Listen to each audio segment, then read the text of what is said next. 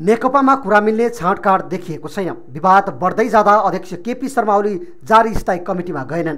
आफू उपस्थित नहुनुको कारण सहितको पत्र बैठकमा पठाए। ओलीले पत्रमा भनेका छन् एकताको महाधिवेशनसम्म सहमति कायम हुनुपर्नेमा खेलको उत्तरार्धमा केही नेताहरूले खेलको नियमै परिवर्तन गर्न लागेका छन्। यो नैतिकता र राजनीतिक दृष्टिले गलत मात्र नभई विभाजनकारी समेत छ। महाधिवेशनसम्मका लागि अन्तरिम हैसियतमा बनेका र महाधिवेशन सम्पन्न गर्नुपर्ने मुख्य दायित्व बोकेका कमिटीहरू त्यसै अनुरूप अनुरूप सहमतिका आधारमा चल्नुपर्छ ओलीको यो भनाइले पार्टी एकता थप सङ्कटमा परेको प्रश्न पार्छ। उनले आफूलाई लगाएको आरोपहरू गैरजिम्मेवार रूपमा आएको भनेका छन्। गत भदौ छब्बिस गतेको स्थायी कमिटीले निकालेको निकासलाई उनले पुनः जोड दिएका छन्। अध्यक्ष ओलीले अबको पार्टी सङ्कट समाधान गर्ने जिम्मेवारी स्थायी कमिटीमा रहेको उल्लेख गरेका छन्।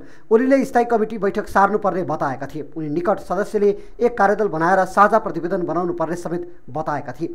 अर्का अध्यक्ष दाहालले आफ्नो प्रस्तावमाथिको अडाललाई कायम राखेपछि ओली असन्तुष्ट भएका हुन्। प्रधानमन्त्रीका प्रेस सल्लाहकार रहेका नेकपा केंद्रीय सदस्य सूर्य थापाले प्रथम अध्यक्ष नै नगएको बैठकको निर्णय मान्न अध्यक्ष ओली बाध्य नहुने बताएका छन्। तर दाहाल नेपाल समूहले भने पार्टी कमिटीका निर्णय मान्नै पर्ने बताउँदै आएको छ।